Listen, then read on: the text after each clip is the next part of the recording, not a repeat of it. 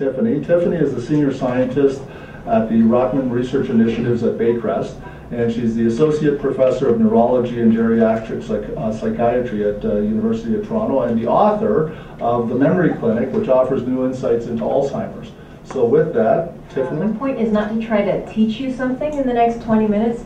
Rather, I would like to put out there some of the terminology that we use when we're talking with our patients and our families, and especially when I have been working with uh, younger people who either have been caregivers to patients with dementia or who are in high school and are really interested in neuroscience and the brain.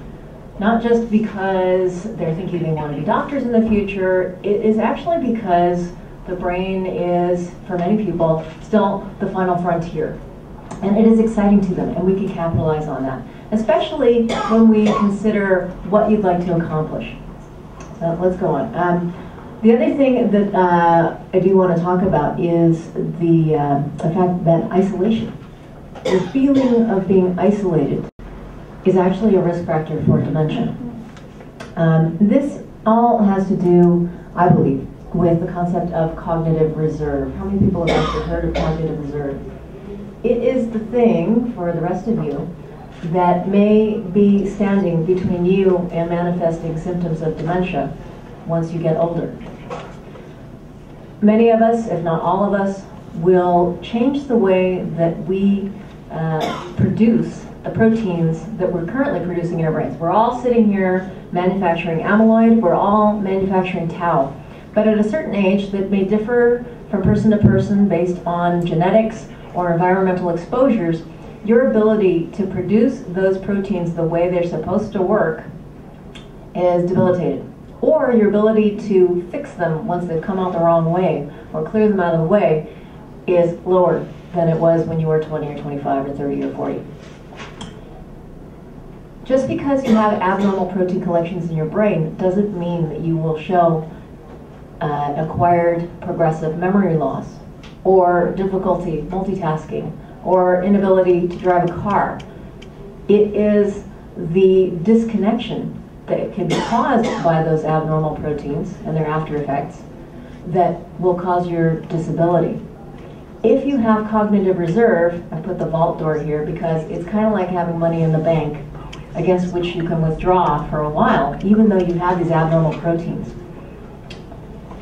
It allows you to compensate for various brain injuries and insults. I brought that up just now in the context of abnormal protein in the brain, but if someone has, if two different people have a head injury of the same degree, but one of them has more cognitive reserve than the other, the person with cognitive reserve may have either a quicker recovery or a more full recovery, or may not have had as severe a symptom set during the, the acute concussive period. So this is really kind of like uh, safeguarding or, or insulating your brain from things that are going to happen. Unless you're going to wrap yourself up in bubble wrap and stay inside and be isolated, things are going to happen to you. Our skin changes, our brains change, our joints change, but we want to make sure that the function is maintained for as long as possible. Cognitive reserve is not just about how much content you have in there or what your fund of knowledge is. It's actually about your repertoire, your adaptability to different situations, your cognitive flexibility, your emotional flexibility. Unfortunately, people with recurrent depression or severe anxiety disorders are at risk for getting dementia down the line, partly because of that emotional rigidity. Um, when we deal with other people, new people in a room, old friends but who are changing or have their own issues, that is a challenge to the brain. That's not just exercising one little piece of the brain. That's making everything fire off, right? You have memories, you have a shared history with that person, but they're throwing a new challenge your way.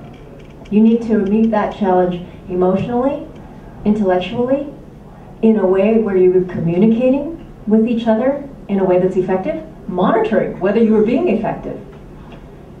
This is one of the ways in which being isolated actually keeps you from being able to maintain your cognitive reserve. Another way of putting cognitive reserve, um, if you've been on an airplane and you flip to the back of an airline magazine, you can see the different hubs that the airline offers. And this is an example of an airline that has only one hub. So if there's a hurricane that comes through Georgia, nobody who has a flight on this airline is going anywhere anytime soon. However, if you have some airline that has more hubs that are able to operate, you're in better shape. You may have to do a triangulation to get to the point where you wanted to, uh, that you originally booked for, but you'll still get there. And that's sort of an oversimplified way of explaining how cognitive reserve would work. If you have only one way of retrieving a piece of information in your head, and that way is blocked by a stroke, by head trauma, by dementia, your host. You're not going to get that piece of information. But if you have wonderful ways of cross-referencing cross -referencing information or cross-referencing, uh, doing lots of ways of approaching a problem, then you're covered.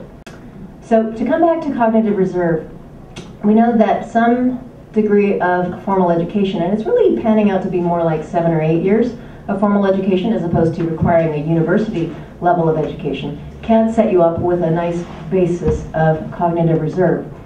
Diversity of experience can be just as important as how many years you sat in that schoolroom. In fact, my bias is that continuing diversity of experience throughout your life can be really important to expanding the repertoire. Again, it's not how many factoids you've tossed into your head that, that, that determines your cognitive reserve. It's how you've acquired that information. Um, one more example of cognitive reserve. I know um, not all of you read MRIs every day, but we're looking at a side view. This is the man's eyeball. This is the top of his head, the back of his head, his neck is down there off screen. Um, you're seeing the bottom of the brain called the cerebellum. And you can see that the gray thing here, his brain, is a little bit smaller than it used to be. It's pulled away from the inside of the skull, so it's kind of sitting down with, with, with uh, gravity. But um, right here, you can see that this part, the temporal lobe, used to fill in much more of that intracranial space. At the time that we did this MRI scan, despite the fact that this man has severe atrophy in his left temporal lobe, which handles language, some degree of memory, uh, and emotional um, processing, he's still able to send me emails about his own health care, organize his own flights to get from Washington to California to see me. We may not be able to prevent this kind of atrophy from hitting a person's brain for a really long time, maybe even during our lifetimes. But if we can build up the cognitive reserve, then this is what we should be aiming for, you and I. Maybe the kids who are in high school now can aim for something else. But right now, the thing that's pertinent to us is cognitive reserve. Isolation is a relative term. How many of you need your alone time? Yeah, not isolated during that time because it has a different meaning to you. It is your creative time, it is your rest time, it is your recharge time, whatever it is for you, it has meaning. So one of the things that I hesitate about here with the isolated no more slogan is that some seniors need to spend most of their time alone. I'm probably going to be one of those. Um, but we need to give them uh, uh, resources so that they can enhance the meaning of their lives. Why am I waking up in the morning? Why am I bothering to brush my teeth and get into my clothes and walk out the front door? With respect to building cognitive reserve, you had talked about um, through formal education and diversity of experience and that. Can you also still build the cognitive reserve when you are 70 or is it something that only happens when you're in your younger years? It's something you could be encouraging older adults to say, you can still do this now because we know with chronic disease and everything else, it's never too late to start to be active or to, to eat well. But is it too late at 70 to build cognitive reserve? So, wonderful question. I did not plant this question. Many of the things that are good for your brain are still good for I your brain. that part down there. Even after you've been diagnosed with dementia. Having some kind of social activity and not being isolated helps to you to prevent the depressive symptoms of any of our dementia syndromes. Uh, they can make your quality of life better despite the fact that you're carrying a label of whatever diagnosis it may be. So don't stop any of these things at any age. Interestingly, that bit about leisure reading was a wonderful paper that gives hope to those who, for whatever reason, stopped their education at sixth grade. The war came, we needed to work, whatever. Those people who did well cognitively, and I don't know if it's a causal relationship, I don't think the authors of the paper can make that point either.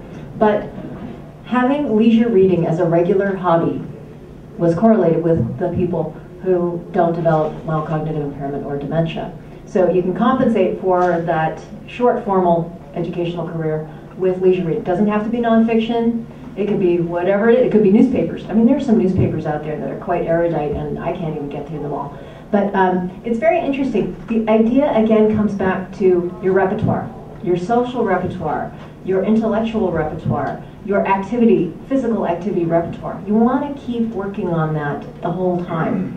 The whole time, over the entire lifespan. The other comment that you made that, that, that's really interesting to me and why I want to bring the idea of brain health into high schools is that if you tell kids not to smoke, that only gets you so far. If you tell them that it'll give them a heart attack, the mentality is that's okay. I'll drop dead. I'll be. I'll. I'll uh, live hard, die young. Right? That's not motivating. What is motivating is I do want to have all my faculties together until the day I drop dead of whatever it is. We're all going to die. But how do you want to go? How do you want it to look? How do you want that future to look? What's it like for you when you're spending time with somebody who does have cognitive impairment? On the one hand, you can enjoy all those other things about them that they can still do and have a great time together. Feel safe, feel connected. That's great. There's no loss there. But if you're sorry that they can't remember what you did last week together each time you see them, well, that's our opportunity to tell them about brain health and to motivate them to do the same things that do prevent heart attack and stroke, but for a different reason. Singing is an interesting workaround to get words out of a person's mouth. Person may not be able to initiate language and sentences. They may be able to say a word at a time, but you put on their favorite golden oldie, and wham, they are Elvis Presley. You take them to the karaoke bar because they're going to win the nighttime contest. And that is so joyful for everybody involved the person who's known that, that, that patient for a long time can allow that person to express themselves fluently in song. The person who's singing has the satisfaction of, ah, okay, now I'm on. So there are all kinds of adaptations to the things we used to do, whether that's expressing ourselves, communicating with others, building a birdhouse, whatever, that we who want to help the people who are lo losing cognition or losing cognitive skills to do what they used to do or find new ways to do the same old thing. So absolutely, music, and you've been hearing about this a lot, the Alzheimer's Society has much more of a passive way of enjoying music, which is you put the headphones on and you let people remember by themselves, have a calm moment, but hearing their favorite music. Or sometimes it evokes memory. As opposed to evoking language, it can evoke memory. It's wonderful. Uh, so yes, thank you for bringing that up. And the arts. I think Peter, Peter, are you going to talk about the arts during your 20-minute thing? Sure. Just kind of sliding things over to Peter. He's very apt at all of these. Uh, but the arts are very much a part of where uh, many centers like Baycrest are going in terms of providing programming to seniors with all their faculties, with some of their faculties, with hardly any of their faculties, to help have quality of life and to find those avenues, those remaining avenues of expression.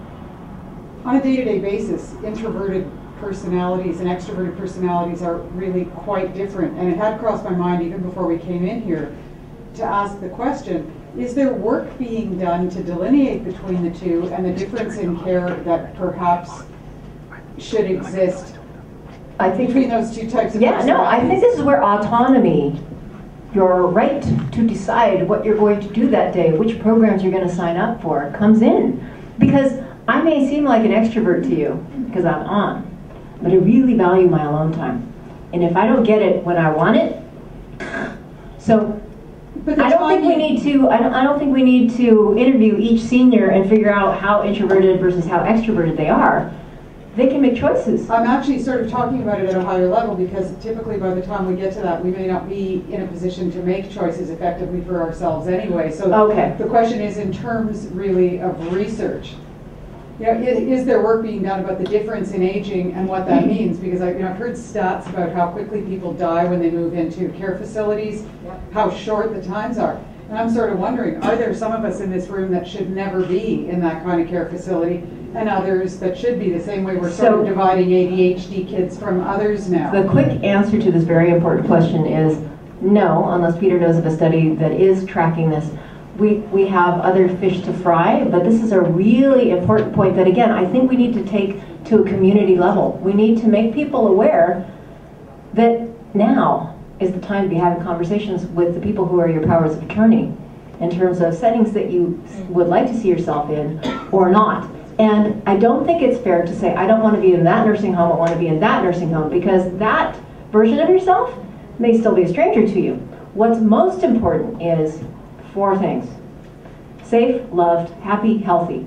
These are variations on the theme of love and kindness and metta. Where do you feel safest? How do you feel most beloved? When are you most happy? What makes you feel the most healthy? These are the things that the people who care about us most need us to indicate to them so that those are the criteria that they will use when we can't live at home, if we can't live at home, or how they need to set the home up for us if we can't mentally be flexible enough to accept option C as something that's still safe. Safe, loved, happy, healthy. This is actually a lifelong pursuit. Mm-hmm. You should be able to effect this every day. If you can only get three out of four, that's pretty good, but you're not going to be able to sustain what you're doing unless you've got all four burning at the same time. But we need to really, uh, this is a corporate term which I usually try to steer away from, but blue sky. All the people that you know who might benefit from being drawn out of isolation, what are the different things that they would like to do? That they would actually do with some regularity. They don't have to do something every week, they could do something every month, they could do something every quarter. The idea here is to whittle away at isolation. And it happens in different ways for different reasons. Whether it's mobility, fear of falling, fear of doing something new. I never do something new. I stay out of trouble that way. Oy. Now, I've been to the, uh, the uh, YM, YMCA, the Y, at uh, near Yonge and Eglinton. And almost everything there is offered for free. Um, uh, in terms of places to gather, you can book a room and gather. So why do we have to tie a gathering in with food and you have to bring food? You can do a potluck of stories. Talking with other people is actually free. You can do it anywhere. You need to provide places where people can do so in an environment where they are welcome. And the building of repertoire is not dependent upon paying to hear a former professor or a current professor lecture. It's about expanding what you're doing, how you're interacting, reviving old memories based on what somebody else has said, and then being able to talk about that with somebody else who may have gotten something different out of the same story. The whole thing about narrative, and Peter has introduced me to narrative medicine, and, um, and that's a whole another talk. But there are many ways that we can get people together that will not cost them money. It may cost somebody else money.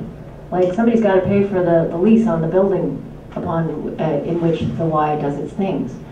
But that's where we can advocate with policymakers. There are institutions that are mandated to provide this kind of service.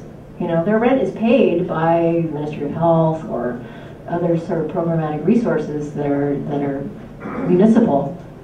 And we need to be creative about how we can offer something that isn't going to cost them money or make them feel ashamed because they can't contribute something material. But we bring meaning if we allow them to hear or share stories. Um, what, what I've been listening to, um, and, and especially when you're talking about it, it's never too late. It's never too late to, to bring things in for, for creating the cognitive reserve. Um, my concern is we cut it off too early in schools because especially if we're talking about what you can what you can have happening in high schools is great. But by that time most of the kids have already decided they're not an artist they're not they're not going to be a dancer they're not going to be a singer like all the things have been cut out because there's so much concern about um, standardized testing. And, and in the early grades that gets priority over everything. And and i'm thinking um, what better way to truly start engaging seniors? Like, my sense is when we're thinking about programs that we can bring to people, the best thing is to get them being part of the process of creating the programs themselves, rather than just parachuting a program in. And so what about getting seniors together with the science that you've got about the importance for cognitive reserve and, and having it become a lifestyle choice that young children start to make, but include seniors in saying, let's get into the advocacy part of this as well. Like why, why don't you find the seniors who, who want to be part of, of standing up and saying, what's happening in our schools is not serving our society. And, um, and, and, and being part of how are we all going to change that together? Like rather than designing a blueprint for what, what needs to happen, get the wisdom of the crowd, um, creating the, the vision for where things can go and start advocating and getting, and we, I think we still have the right government in place in Ontario to really um, make things happen um, in, in that direction. If, if they start seeing that there's, there's a, a whole new rising um, um, center of, of desire coming from, from a community that really hasn't been saying much in that, in that regard, but have probably so much to say. I hope that on the videotape you've captured that entire train of sentences because there were at least two ideas in each sentence. That's fabulous. Okay, and we need to take those apart and put them up on the on the pieces of paper because there were things ranging from advocacy to allowing kids to keep doing stuff even though they don't think they're great at it. Diversity. Diversity of what you're doing, your repertoire. You could have a drawing class for non-artists and that would debrief or debulk all of the stress over, oh, but I suck at art and I'm actually been told I'm a mathematician and I need to become a scientist and scientists don't do art. Well, ha, that's not true. You know, maybe we need to find scientists who are actually also renowned or not so renowned artists, but who don't do it because they love it. And, and so the intergenerational experience in that case can be, yeah, I make more money doing this, but actually I enjoy these other things as well. This is a balanced life. What is a balanced life? It's so hard for high school students, especially seniors, to get a sense of that because they've been focused so hard on getting into the next step and then after that getting into the next step of graduate school. That's a whole different larger issue of, you know, do you need to be goal directed? What are the goals? You know, if you want to become a doctor, yeah, you end up having to go to medical school. Or you say, I want to be a different kind of doctor. And you don't go to medical school, you do something else. What are the possibilities? We want to show everybody of all ages what the possibilities are so that uh, the people that Marilyn was talking about can decide, you know, I don't want to do a six week program in which I am due at the junior high every week. I just want to go fishing when I go fishing, and if somebody else wants to jump along, fine. I mean, one of the things that, that is the danger of me standing here behind a podium with a mic and you don't have the same setup is that it sounds like I'm supposed to solve this or give you answers, but all the answers are here in the room and out there with the people you will talk to. We're not going to solve everything today, but we'll create a language with which you can approach others and get them on board to advocate for these resources popping up and being tried and maybe failing. I'm open to some of these ideas failing. And then other ones will succeed, maybe only a little bit, but you'll build on it and you'll iterate. And that's business design. And business design includes having all the stakeholders contribute to the design of the thing that has a purpose. It's not you're designing it just because it looks good on paper. You have goals for adding meaning to people's lives. That's a great goal.